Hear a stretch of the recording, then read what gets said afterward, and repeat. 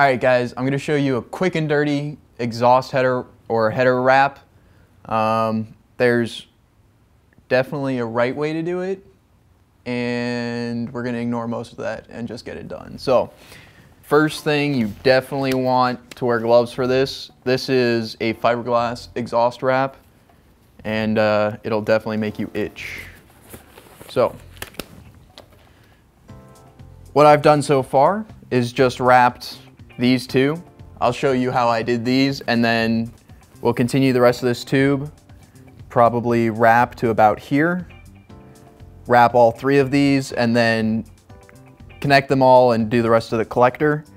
Um, but these are just temporary zip ties to hold everything tight for now. So this is our exhaust wrap. And out of the box, it's really stiff not very easy to work with. What we're gonna do is go run this under the hose. Uh, that's gonna soften this up and make it a lot easier to work with. And we're gonna be able to pull it super tight and make sure we get some nice wraps.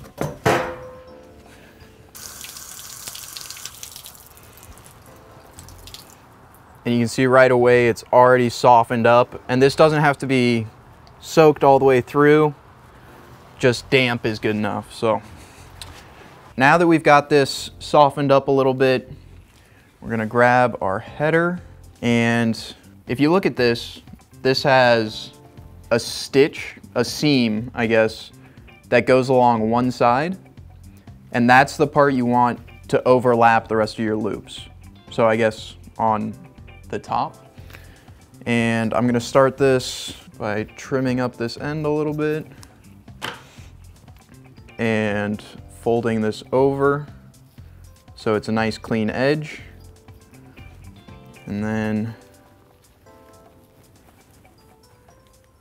just to get started, we'll fold it over like that. And make sure we get a good loop.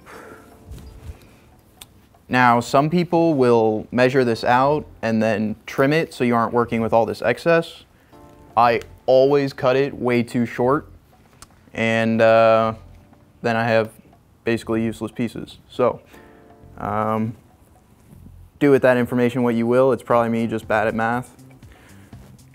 All right, so now we've got our first loop where it overlapped done and we're going over the second one.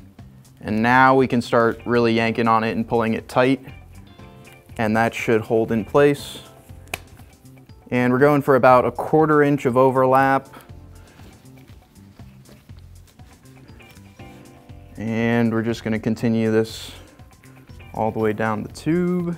So this was about a 50 foot roll. Um, that should be enough to do a full set of headers on a V8. Yeah, that's looking pretty good. So you can just keep holding at one point and it shouldn't slip too much and just keep passing this around. Pull tight, bring it up. All right, so I just finished wrapping this and I am right to where this other part ends. Well, I guess it wraps around right there. What I think I'm going to do, because this will pinch really tightly around this bend, I'm gonna cut it off about here and cut the zip tie and then wrap all three of these together from this point on. So we're just gonna snip the zip tie with these scissors. Yes, very good. And I'm holding this roll here, so I'll be able to pull this tight and then wrap those together, but keeping this one at least a little taut is gonna make my life a little easier. And I'll deal with that zip tie in a second. But let's go ahead and trim this guy.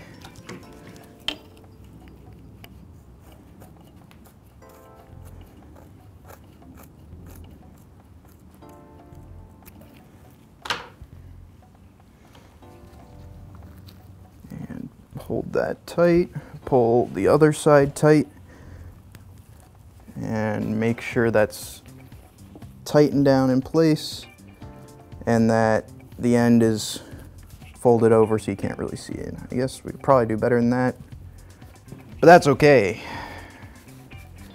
we're basically just wrapping this to cover up all my really bad welds. So.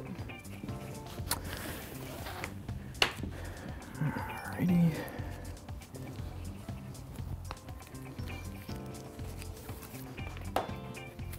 Okay, I think we'll do one more wrap and then grab that other side.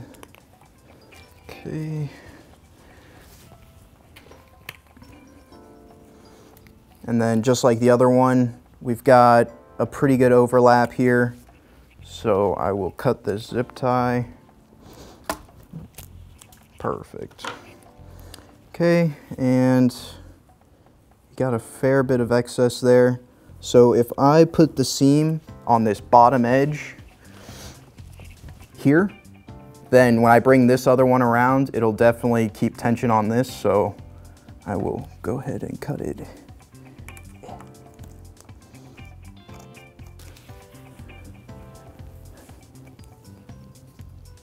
We'll fold that corner under and then yeah. Questionable gap there, but it's fine. Totally fine by me. Okay. And I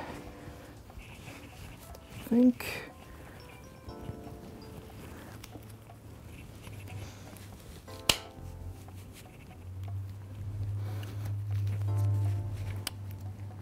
that looks pretty okay to me. So now it's just like for the other ones to hold it in place, we're going to zip tie it. And we're actually going to end up locking this end down with metal zip ties. And I'll show you that in just a sec here. So,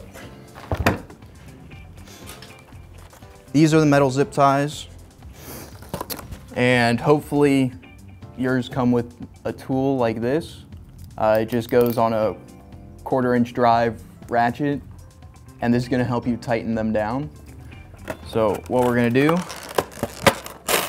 oh gosh, oh god.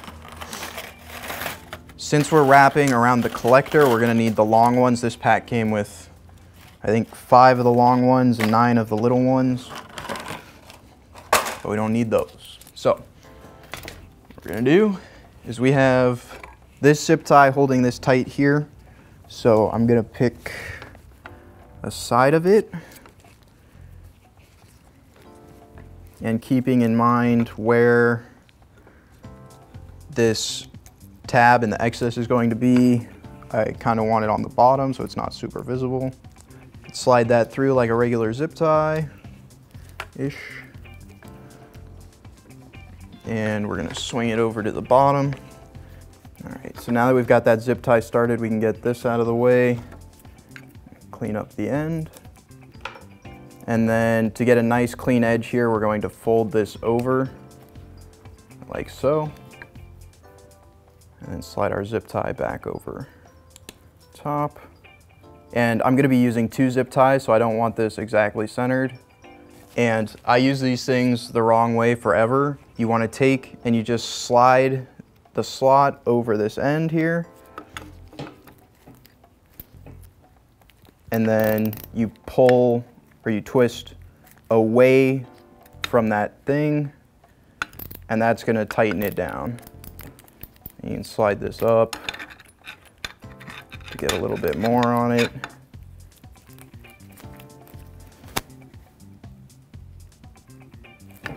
And you can't go too tight with these because it will break. So, yeah, that's not going anywhere.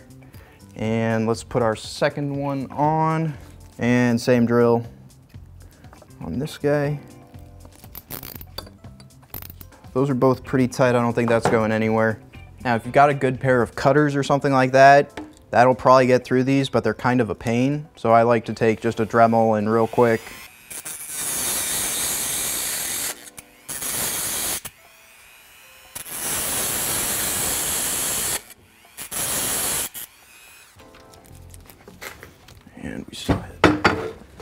this Johnny.